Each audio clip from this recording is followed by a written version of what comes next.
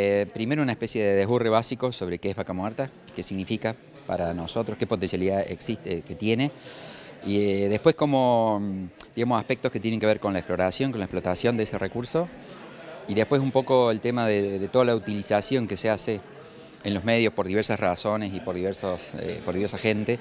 en función de sus intereses y me interesa particularmente hacer hincapié en, el desarrollo sustentable y poner la vaca muerta en ese marco del desarrollo sustentable.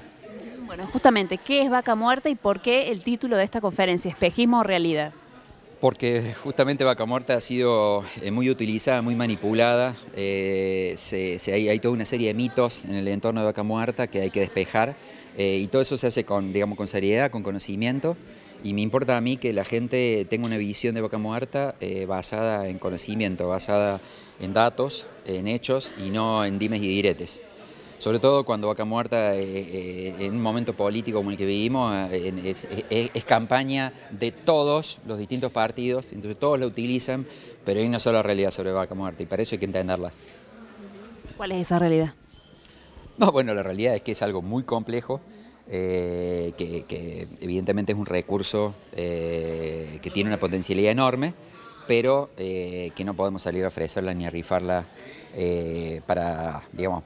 como garantía del pago de una deuda externa que vaya a saber cuál es su origen. O sea, creo que explotar cualquier recurso natural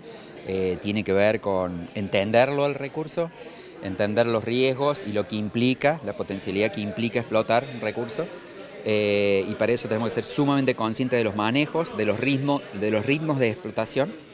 eh, y también entender que los recursos son para nosotros, pero también tiene derecho cualquier generación futura que venga. Entonces no es cuestión de agotarlos de una manera, eh, digamos, irracional, explotándolos de manera acelerada en función del pago de tal o cual deuda, sino que hay que ser extremadamente cuidadoso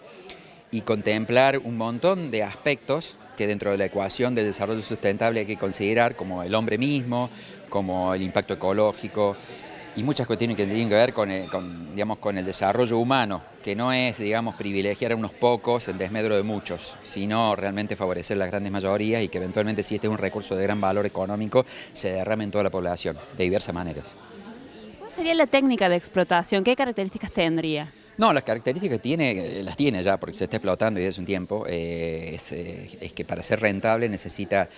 ser absolutamente intensiva, y para intensiva me estoy refiriendo a una enorme densidad de pozos, pero aparte con técnicas de fracturación hidráulica, de estimulación hidráulica, del famoso fracking, que tiene sus bemoles tiene sus, riesgos y tiene sus impactos, que son inevitables, que hay que conocerlos porque hay que protegerlos y hay que legislar sobre ellos. ¿Y cuál es la importancia de traer estos temas a la universidad pública, a distintos espacios donde la gente eh, tiene acceso? que en la universidad pública, y ojalá fuera en todas las universidades y también en las privadas, eh, es básicamente el pueblo el que tiene acceso a una universidad pública por definición. Eh, y a mí como científico, como investigador y como docente, lo que me interesa es tener mucha llegada a la gente y divulgar cuáles son los fundamentos, los distintos problemas que uno toca porque me interesa enormemente la retroalimentación que se establece con el pueblo y con la gente que manda a sus estudiantes con un enorme esfuerzo.